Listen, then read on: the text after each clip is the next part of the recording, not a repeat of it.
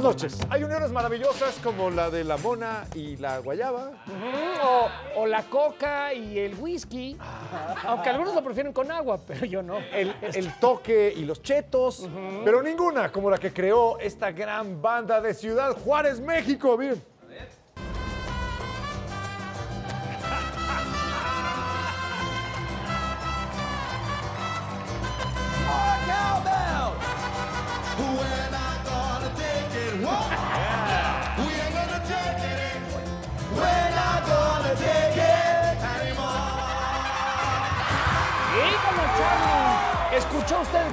Escuchó usted bien. Un poquito de Twisted Sister, pero con música de mariachi. Se llama. Metalachi, la primera banda que mezcla estos dos géneros, heavy metal y mariachi. ¿viste? Huevos con aceite y limón. Así va la letra. Siempre me pregunté qué decía. Y limón, y limón. Ahí está. Mezclando mariachi y metal. Es muy raro porque cuando dicen 666, no sabes si se refieren al chamuco o a que traigas más cervezas. Exacto. Ahora, son perfectos para bodas negras, bautizos de sangre y serenatas para esa damita a la que le gusta rezarle a Satanás. güey. Pues está muy bien, es romántico. Lo güey. bueno de todo esto es que por fin mi abuelita y yo vamos a tener algo que bailar juntos. ¡En el infierno!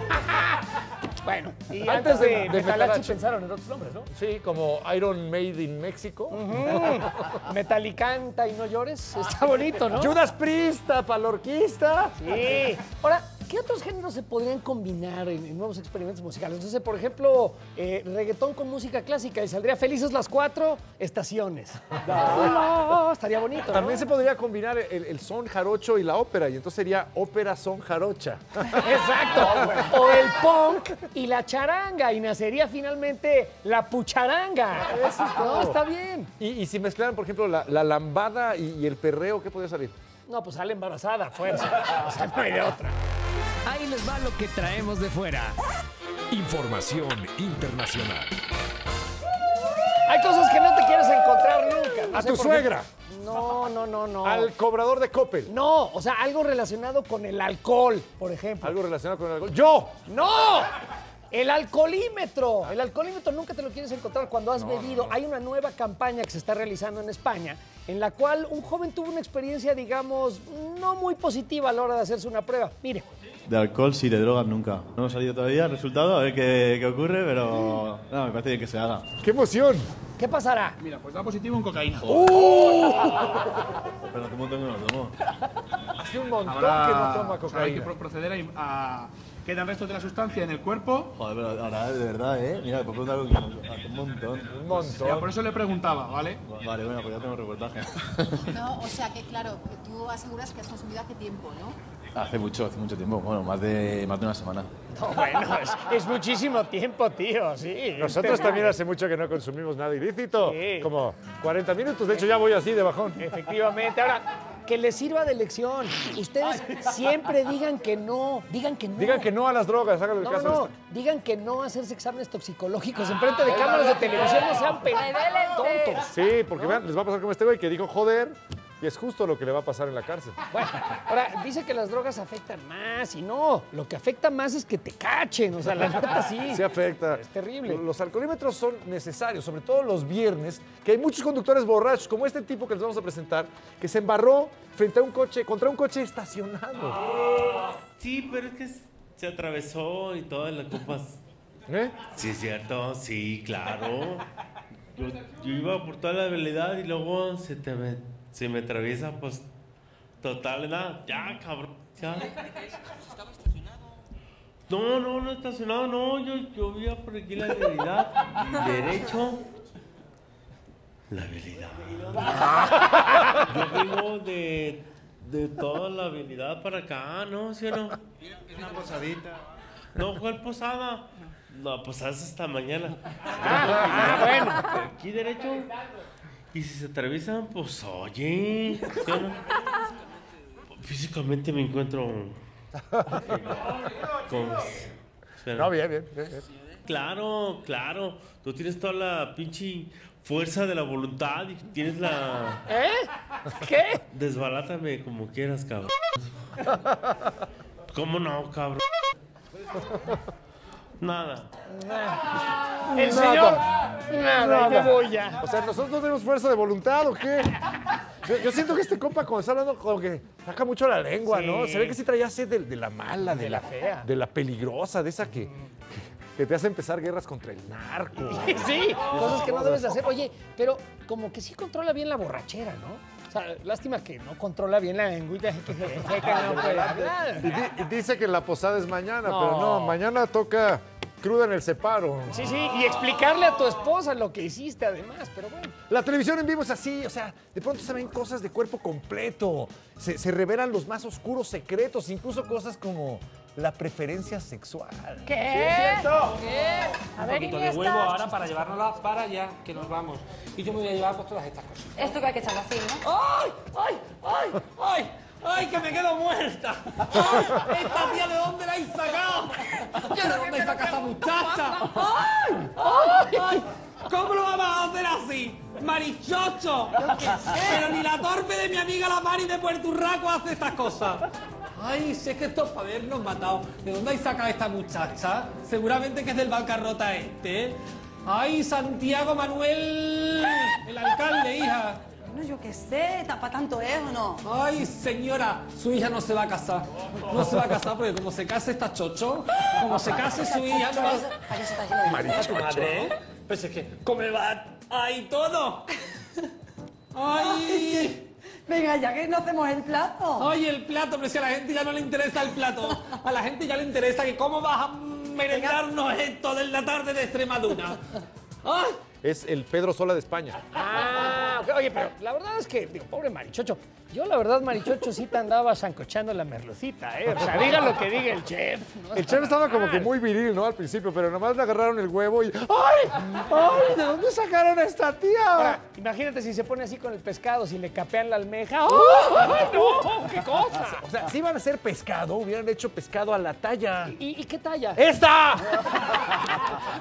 El otro día yo estaba muy molesto cuando pues, me trajeron pescado del chico. Y yo pedía del grande toda la tarde y me seguían trayendo pescado del chico toda la tarde. Por todo el restaurante. Muy mal, muy feo. Vamos a otra cosa. Es feo. Son invertidos. Los papeles. Esta es la sección gay. Eduardo Iniesta. ¡Pásale! ¿Qué onda, mi querido gay de cabecera? Sí. Mi hermano Videgaray, mi hermano Estaca, tomen asiento, por favor. ¿De qué eres religioso? Hoy vengo con el modo zen activado. Aquella princesa rabiosa a la que se le desmoronaba el mazapán a la menor provocación ha quedado en el pasado. Ah, ¿Y quién te la O sea, sacó? es que ¿Te estás refiriendo a ti mismo como Sí. aquella princesa? Rabiosa. Es que sí era bien princesa rabiosa, ¿a poco no? Está bien, está bien, pero ¿cómo cambiaste? ¿Qué hiciste? Pues es que hagan de cuenta que descubrí una iglesia que era igualita que el Noa Noa. Un lugar de ambiente donde todo es diferente. Esta noche vengo a presentarles la Iglesia de la Reconciliación, la iglesia gay en la Ciudad de México. Ah, vamos a conocerla. Vean ustedes. Banda de qué importa, en esta ocasión nos lanzamos a un lugar en donde están convencidos de que las puertas de la espiritualidad están abiertas para todos, para todos dije. Bienvenidos a la Iglesia de la Reconciliación. Hola, soy el Iniesta, soy gay, soy súper gay. ¿Aceptas gays aquí? En la Iglesia de la Reconciliación todos son bienvenidos. Sean bienvenidos, bienvenidas a la Iglesia de la Reconciliación. ¿Qué es la Iglesia de la Reconciliación? Es una iglesia cristiana no denominacional que surge en el año del 1981 desde las comunidades de la diversidad sexual con la intención de abrazar a todos y todas quienes se sentían excluidos de la presencia de Dios.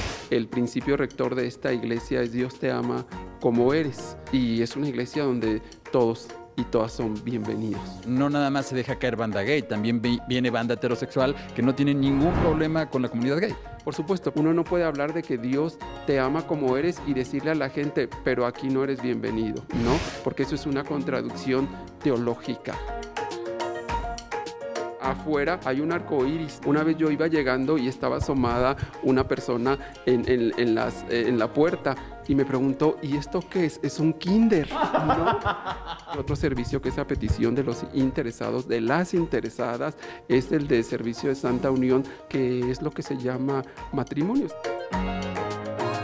Los querubines que vemos a la orilla del, del techo, los querubines dorados, ¿me puedes contar la historia de estos angelitos? Esta imagen específica de, de querubines eh, en italiano se llaman putti. ¿Mande? Putti. Es- es- ese es el nombre en, en italiano. Entonces el reverendo Sosa, eh, cuando hablaba de, cuando hacía referencia a ellos, decía, esta iglesia está llena de putis. Pues ahí lo tienen. Que nadie les diga que no está bien ser diverso, porque eso, eso sí es un error. Perdón, pues yo tengo que comentar. a ver, que yo sé que esto a mucha gente a lo mejor le parece chocante, pero esa es la actitud cristiana, ¿no? Recibir a todos. Ah, yo pensé que voltear la otra mejilla. O sea, no, no entiendo. Y en un acto de serendipia brutal, esta iglesia, no es broma, está a unos cuantos pasos de la glorieta de Camarones. Oye, ahora, en esta iglesia cuando rezan todos lo tienen Se levantado hacia el. Señor. Pa- pa- para donde haya que elevarlo. Exactamente. Y lo bueno de esta iglesia es que ya lleva 20 años, no es nada nuevo. Ahí la llevan, o sea, la otra iglesia lleva 2000, o sea. ¡Ay, sí, yo llevo 2000! Ya cerca. Yo llevo 2000. En vez de vino de consagrar, ¿qué bebe? ¿Cosmopolitans? ¿Medias de seda? ¿Anís del monje o Los Martín de Pepino? que o le llaman. No, no sé. Creo que en esta iglesia hincarte puede ser peligroso, ¿no? Porque al parecer te pueden dejar tuerto. Obisco. Ahora ya entendí por qué tu casa está llena de velotas, unos cirios pascuales No es por eso. ¿no? Son para aprenderte Sí. los antes de rezar, ¿no? Exactamente. Exacto, es justo por eso. Ahora dicen que ahí sí te bautizan el chiquito, ¿eh? en esta iglesia, pero... Pero a cada rato. Sí, sí, sí, o sea, sí, hay ¿Sí? fila, ¿Y sí hay cu- cola. Cuando te bautizan en la iglesia gay, ¿te sumergen en una pila? Este, bueno, sí te sumergen, pero luego te explico. Ok, bueno. Gracias. Fernando Vamos a contrario. Igualito. Es hora de convertirnos en eunucos para hablar de espectáculos. Amigo Iniesta, te quiero. Verónica Tucent. Compañeros, Bienvenida. ¿cómo están? Oigan, algunos podrán decir que llevamos al chavo dentro, ¿no? Perdón. Perdón. Sí, adentro del corazón, Ah. para ser exactos. Pues más bien, el chavo se pega al pezón. ¿Perdón? ¿De qué ¿Quieren verlo? ¿Quieren verlo? Sí, pero ¿de qué hablas? Bueno, si no me creen, vamos a ver este. ¡Ah, qué bonita foto! ¡El chavo del 8! El chavo, este más se está recargando pues contra un... Bueno, pero está bien, o sea, ¿quién no ha agarrado un pezón de cotonete? O sea, la verdad, la neta. Pero es el cachete, no es la No oreja. sé, está- Esta vez sí fue sin querer queriendo, ¿eh? Por completo. O sea, ahí está clarísimo en la imagen. La Aparte, neta, ¿cómo, ¿cómo diría el chavo esto? Ay, ya sí qué chiste, no son tortas de jamón, son de chicharrón. Sí, la neta sí. De chicharrón prensado. De- exacto, chicharrón pensado. Oye, pero creo que a esto se le llama Roberto Gómez Bolaños. Sí, que la otra es la chichilindrina. Sí, ¿cómo está exacto. Y el chavo le está dando un kiko. Ahora, no es la primera vez que un chavo acaba en una chichi. ¿Eh? De hecho, es normal que suceda eso por accidente o a propósito. Cuando están usando A el propósito es padre. ritmo. Exactamente. Eh, No se vayan de aquí, ¿de qué importa? Porque al regresar tendremos un final feliz que no tiene nada que ver con lo que están viendo, es justo lo contrario. Terminemos todos juntos empapados De información. El final feliz. Oye, ¿alguna vez te han traído pescado de la alberca? Que si te han traído pescado de la alberca. De la alberca, güey. Mira, pescado de la alberca como este. ¿Eh? ¿Qué hubo? ¡Fresquecito! ¿Eh? Sí, está bien, ¿qué es? Ahí está. ¿Ese es el, es el pescado de los huevos negros? No sé, a lo mejor hacía mucho sol y estaba muy bronceado. Yo no sé, nunca El- lo había visto ¿O así. será el pez huesudo? Puede ser.